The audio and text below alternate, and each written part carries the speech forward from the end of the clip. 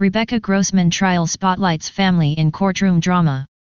The ongoing legal proceedings surrounding a devastating vehicular incident involving Rebecca Grossman, the co-founder of the Grossman Burn Foundation, have attracted widespread attention. The high-profile case has not only cast a spotlight on the tragic event but also on Grossman's family life, particularly concerning her daughter. In the midst of the legal maelstrom, Rebecca Grossman stands accused of causing the deaths of two young brothers, Mark Iskander, 11, and Jacob, aged 8, on the 28th of September 2020 in Westlake Village, California.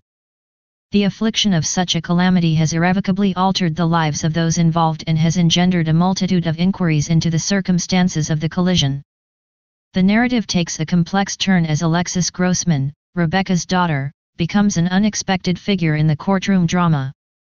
Alexis has been summoned by the prosecution to potentially testify, hinting at her inadvertent entanglement as a pivotal witness in the trial.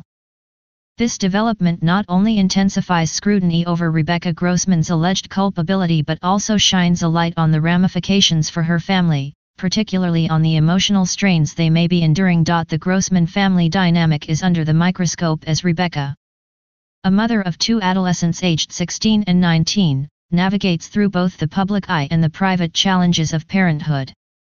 Her personal life is a tapestry of familial bonds and professional commitments, with her philanthropic work intersecting her role as a mother.